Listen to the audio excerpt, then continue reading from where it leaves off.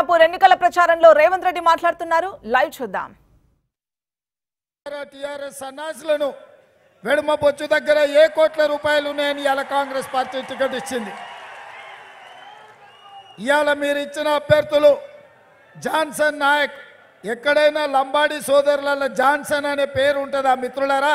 ఇంతమంది లంబాడి సోదరులు ఉన్నారు. నా నియోజకవర్గంలో కొడంగల్లో దాదాపుగా ముప్పై వేల మంది లంబాడి సోదరులు ఉంటారు. ఒక్క మండలంలోనే డెబ్బై రెండు తండాలు ఉన్నాయి. ఆ తండాలన్నీ నేను తిరిగిన.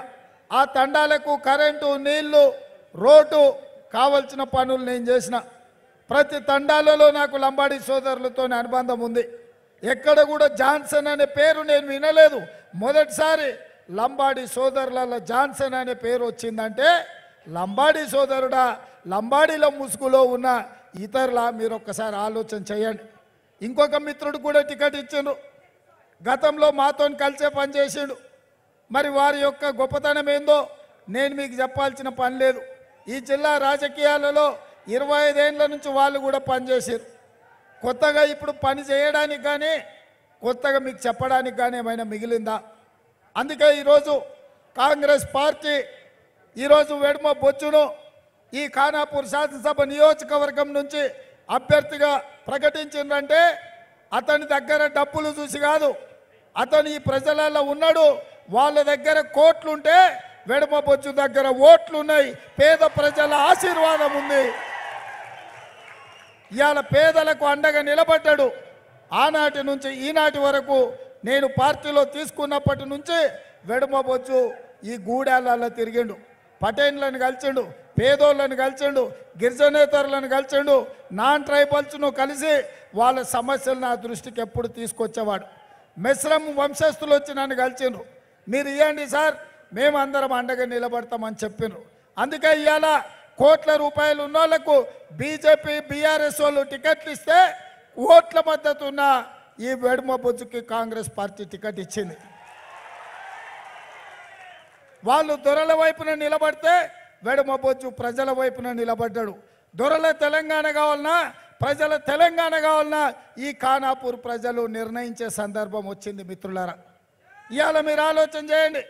ఈ ఆదిలాబాదు జిల్లాను సస్యశ్యామలం చేయాలని ఈ ఆదిలాబాదులో ఉన్న వెనుకబడిన గిరిజనులను ఆదివాసులను గోండులను అందరిని ఆదుకోవాలని ప్రాణహిత చేవెళ్ళ ప్రాజెక్టును తుమ్మిడిహెట్టి దగ్గర కాంగ్రెస్ పార్టీ కట్టాలనుకున్నది. ఆ ప్రాజెక్టు నిర్మిస్తే లక్ష అరవై వేల ఎకరాలు ఈ ఆదిలాబాద్ ఉమ్మడి జిల్లాలో ఆయకట్టు నుంచి ప్రతి ఎకరాకు నీళ్ళు ఇవ్వడం ద్వారా ఈ ప్రాంతాన్ని సస్యశ్యామలం చేయాలి పచ్చని పంటలతో పండించాలి అని చెప్పి ఆనాడు ప్రాణహిత చేవెళ్ళ ప్రాజెక్టును కాంగ్రెస్ పార్టీ ప్రారంభించింది. కానీ తెలంగాణ రాష్ట్రం వచ్చిన తర్వాత చంద్రశేఖరరావు తుమ్మిడేటి దగ్గర నిర్మించాల్సిన ప్రాణహిత చెవెళ్ళ ప్రాజెక్టును ఇవాళ మేడిగడ్డ దగ్గరికి తీసుకెళ్ళిండు అన్నారం దగ్గరికి తీసుకెళ్ళిండు సుందీల దగ్గరికి తీసుకెళ్ళాడు. అక్కడికి తీసుకెళ్ళినాక ఆదిలాబాద్కు నీళ్ళు వచ్చినాయా మిత్రులారా? నేను అడుగుతున్నా. కేవలం తుమ్మిడేటి దగ్గర నిర్మిస్తే మూడు వేల ఎకరాల భూమి మహారాష్ట్రలో ఉండే మునుపు.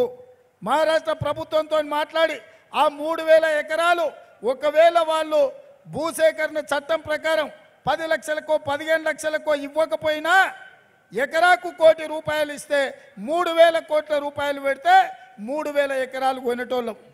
దాంతో ముప్పై ఎనిమిది వేల ఐదు వందల కోట్లతోని పద్నాలుగు లక్షల ఎకరాలకు ఇవాళ ప్రాణహిత చెవుల ప్రాజెక్టుతో నీళ్ళు వస్తుండే. కేవలం మహారాష్ట్రాన్ని అడ్డం పెట్టుకొని మూడు వేల ఎకరాల భూమి వాళ్ళు ఇస్తలేరు కాబట్టి నేను కాళేశ్వరం దగ్గరికి పోయినా అని చెప్పి లక్ష యాభై వేల కోట్ల రూపాయలకు పెంచిండు లక్ష కోట్లు దిగమింగిండు.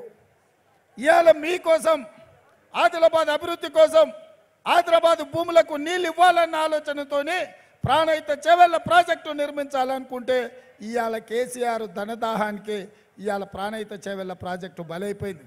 అదే కాకుండా కడెం ప్రాజెక్టు ఆనాడు కాంగ్రెస్ పార్టీ కట్టింది. ఇవాళ దాన్ని నిర్వహించే సోయి లేదు. రెండు సార్లు తెగే ప్రమాదం వచ్చింది కడెం ప్రాజెక్టు.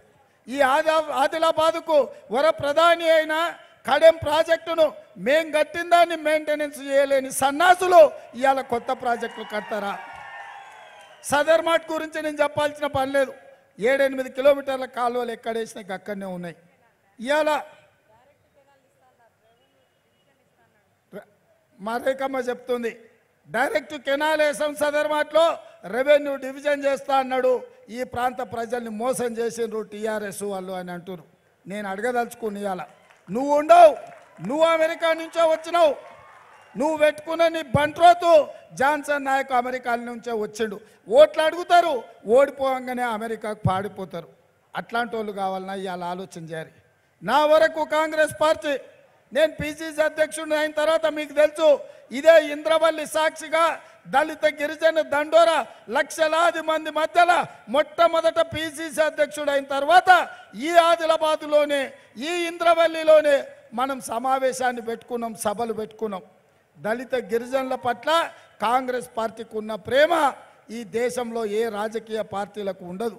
ఎందుకంటే ఇందిరమ్మ ఈ పార్టీని పెంచిందే ఇందిరమ్మ పేదలకు భూమి హక్కు ఇచ్చిందే దళితులకు గిరిజనులకు. ఇందిరమ్మ రాకంటే ముందు ఇందిరమ్మ ఇవ్వకంటే ముందు గిరిజనులకు కానీ లంబాడి సోదరులకు కానీ ఆదివాసులకు కానీ దళితులకు కానీ ఎవడైనా భూములు ఇచ్చిండా? మీ భూములకు పట్టాలు ఇచ్చిండా? మీరు ఒక్కసారి ఆలోచన చేయండి.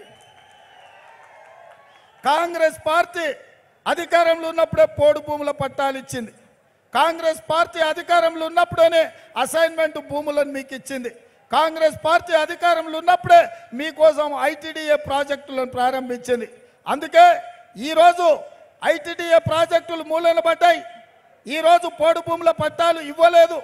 ఆల్రెడీ మీకు ఇచ్చిన పోడు భూముల పట్టాలు అసైన్మెంట్ భూములు ధరని తెచ్చి ఈ ప్రభుత్వం గుంజుకున్నది. గతంలో ఇక్కడున్న ఆదివాసీ ఏతరులు ఆలోచన చేయండి. నాన్ ట్రైబల్స్ మీరు ఆలోచన చేయండి. మీకు ఈ గిరిజన ఐటీడీఏ ప్రాంతంలో ఉన్న మీ భూములకు పహానీలు ఇచ్చింది కాంగ్రెస్ పార్టీ. బ్యాంకులలో లోన్లు ఇప్పించింది కాంగ్రెస్ పార్టీ. ఇవాళ టీఆర్ఎస్ వచ్చినాక గిరిజనేతలకు పహానీ లేవు బ్యాంకులలో లోన్లు లేవు మీకు రైతు రుణాలు లేవు. ఇవాళ మిమ్మల్ని నిండా ముంచింది ఈ ప్రభుత్వం అని నేను చెప్పదలుచుకున్నా. అందుకే మిత్రులారా ఇంద్రవెల్లి సాక్షిగా నేను మాట ఇస్తున్నా ఈ ఆదిలాబాద్ ఉమ్మడి జిల్లాను కాంగ్రెస్ ప్రభుత్వంలో ఇందిరమ్మ రాజ్యంలో దత్తత తీసుకొని ఈ ఉమ్మడి ఆదిలాబాద్ జిల్లాను అన్ని ప్రాంతాలతో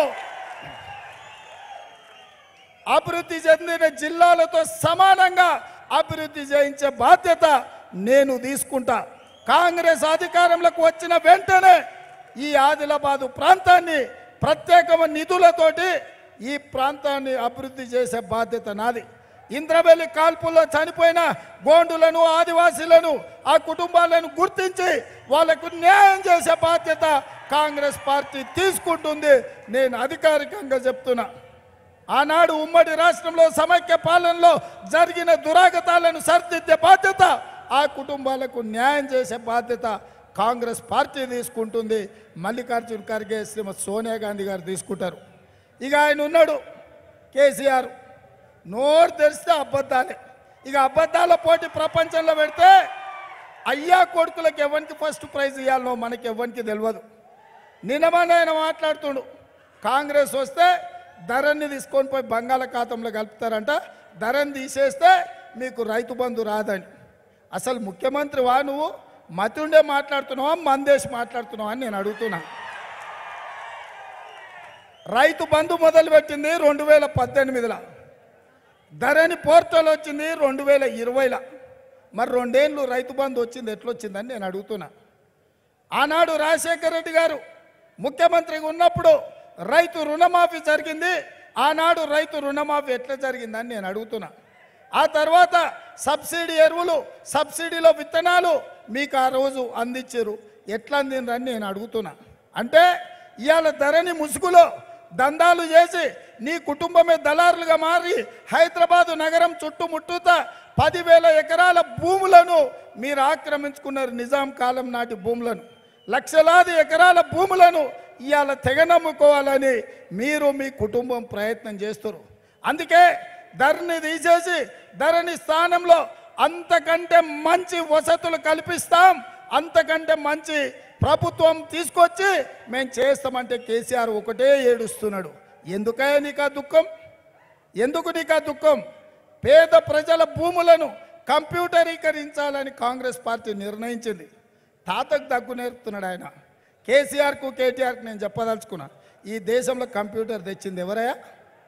ఈ దేశంలో కంప్యూటర్ తెచ్చింది రాజీవ్ గాంధీ. రాజీవ్ గాంధీ గారు కంప్యూటర్ తెచ్చిండు కాబట్టే కేటీఆర్ అమెరికాకు పోయిండు. అమెరికాకు చదువుకోనికి పోయినా ఐటీ నౌకరీలుగా పెట్టినా అని చెప్పిండు. ఈయన చదువు సక్క లేక చదువు సంక నాకితే అమెరికాలో బాత్రూమ్లు గడికి బతికినోడు. నువ్వు వచ్చి మాకు చెప్తావా? ఈ దేశానికి కంప్యూటర్ తెచ్చింది మేము. ఈ దేశంలో వ్యవసాయ భూముల మొత్తం వివరాలు కంప్యూటరీకరించింది కాంగ్రెస్ పార్టీ. ఇవాళ ధరని తెచ్చి దందాలు చేసి భూములు కొల్లగొట్టింది ఆక్రమించుకున్నది దళారులుగా మారింది నీ కుటుంబం. అందుకే ధరణి స్థానంలో మంచి చాలా మంచి పోర్టల్ తీసుకొస్తాం.